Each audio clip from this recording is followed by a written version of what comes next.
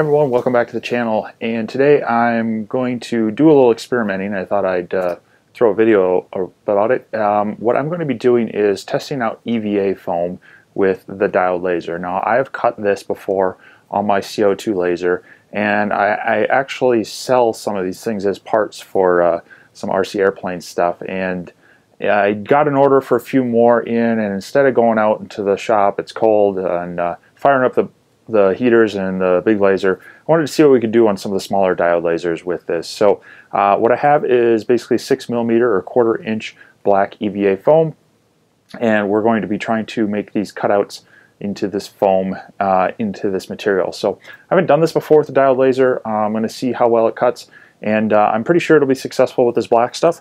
Um, once we're done with that, I do though have some multicolor sheets. These are a little bit thinner, uh, but this will allow us to test the various different colors to see if we have success cutting EVA foam with this. Now EVA foam is laser safe to cut, but uh, it does produce some residue and of course some fumes as you're doing it. So you want to make sure you have good ventilation and you want to make sure that the foam you're cutting is truly EVA. There are some foams that might have some sort of uh, polyester or uh, any sort of vinyl in them. You want to be careful with those as they won't cut well and or the vinyl will put out some uh, bad gases. So um, this is uh, actual EVA foam. It is uh, laser safe, compatible, but uh, do your own research on the foam you're cutting before putting it into your machine. So let's uh, jump into testing this out, see if we can dial in some cut settings, and then see if I can replicate this simple cut on the diode laser so I can stay in my warm basement shop here in the winter and not have to run out to use the big machine in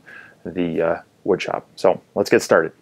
All right, we've got the Wainlux L6. This is a 10 watt laser. It's got air assist on it.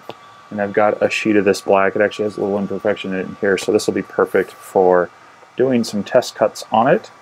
So first thing we're going to do is get this focused on here. So let's move the laser over to our material. It's just clearing it there, so. Alright. This one has a nice little foot on the side. Just drop that down to it, bring it back up. Now we may find we want to lower it down a little bit just to get that focal point more into the middle.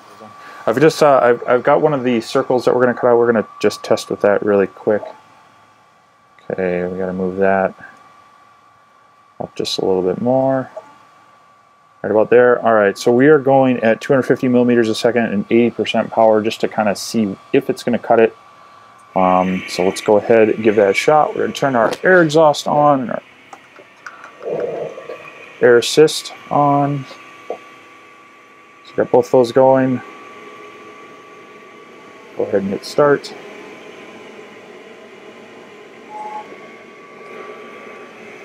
Go. Cut right through. Dropped out, uh, but it looks like maybe it was a little hot. So from there, what I might do is set up a test grid really quick.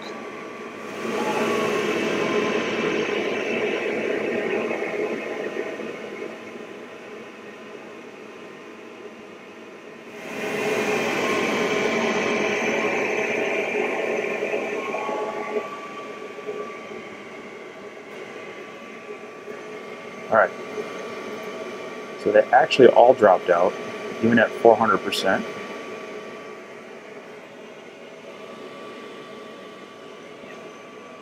Backside.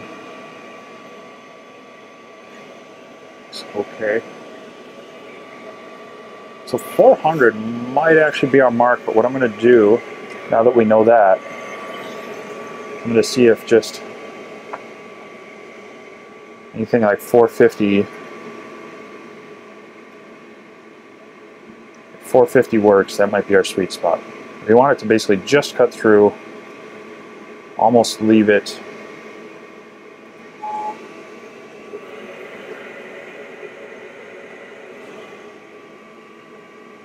Almost leave it hanging.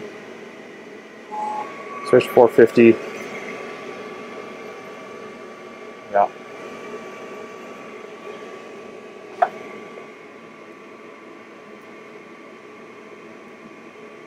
We can push it up to 500.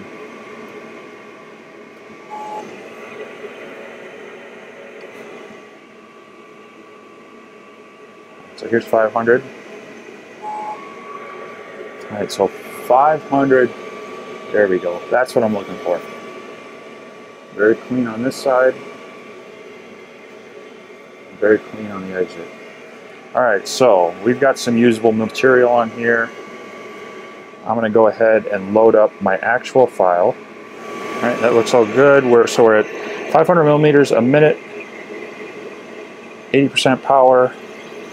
The preview says it'll take about five and a half minutes to cut this piece out. So let's send it and see how it goes.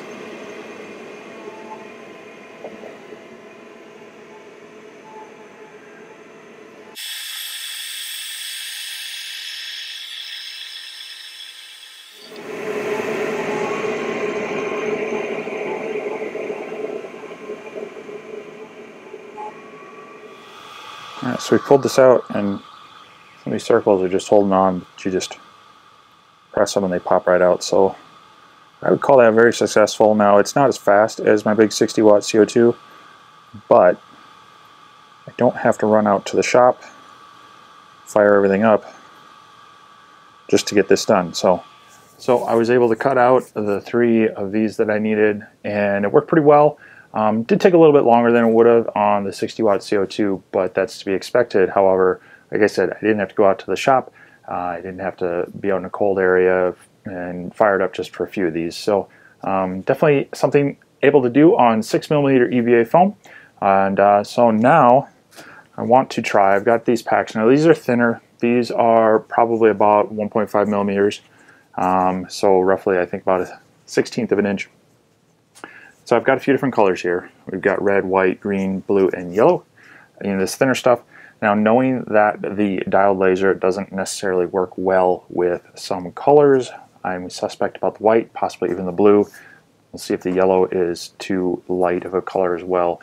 Um, but they are all opaque and solid, so we'll see how they cut out and see if it might be effective for other things on all these colors. So let's go ahead and throw these in the laser and see what happens. All right, so we're going to start with the red, I've got it refocused and I'm just going to be cutting a simple square shape out of this to see. I've bumped up the speed here. We're doing uh, 800 millimeters a minute and 80% power. Let's go ahead and turn our air on and we'll turn our exhaust on.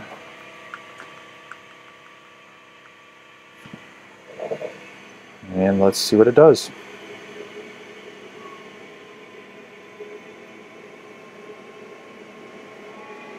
Right? Definitely cut through. Very clean. Not much charring, not much overburn. So red's a success.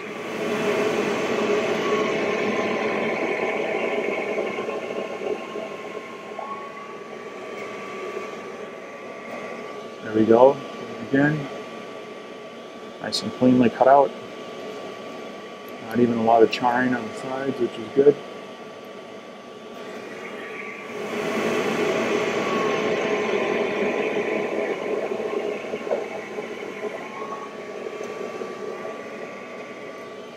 Again, another success. Very clean.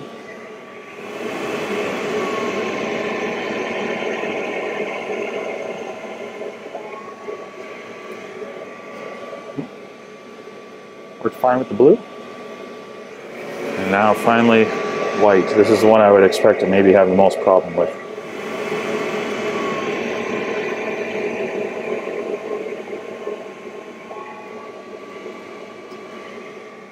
Alright, that one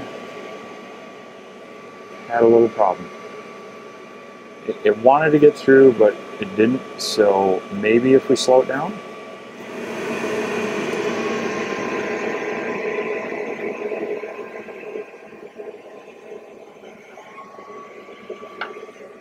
Okay.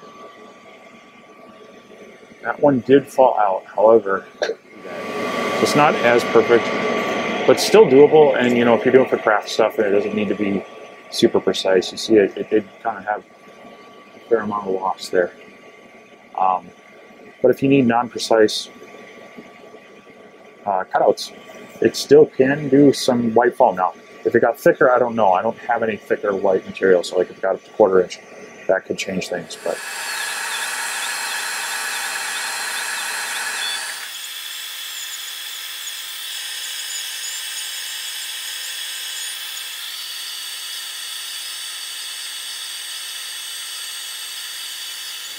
right, time to get a little crafty. We got these parts cut out. I'm to just try this uh, washable glue stick. This should work okay on this foam. Um, you could use a, a, spray adhesive or even a contact cement kind of thing. Um, but we're going to use this. It, sh it, should set up pretty quick and um, hopefully work pretty well in there. Now I use tape when I pick this up just to try to try to keep these berries all in kind of the same relation. So we're going to try that. Uh, what I'm going to do is going to put these leaves down on our backer. So all I did was I put this together on the image and then used the outline tool to uh, create an outline of this to give us a nice backer on this. But uh, what we're going to be doing is basically placing the holly leaves into the piece like that. We'll glue those down, then we'll glue the berries on as well. So let's go ahead and do that and see how it turns out.